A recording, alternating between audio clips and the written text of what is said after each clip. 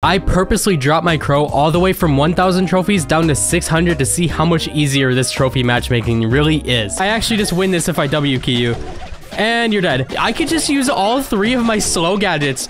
He's so good in duels. Well, guess what? Oh, you got another one? Oh, wait. I'm just not to kill it. And you're dead. One, two, three. And... Oh, he's dead. Oh, look at these shots. Oh, boy. Let's go. He's to poison to death. Okay, I slowed him. And he's struggling to hit shots because they're so thin. Yes, baby. Let's go. Let's go. He can't hit a single shot. And he's dead. The burst. The versatility. Crow is insane. And for Meg, I should be able to just jump straight on her, I think. Come here, Meg. Come here. And you're dead.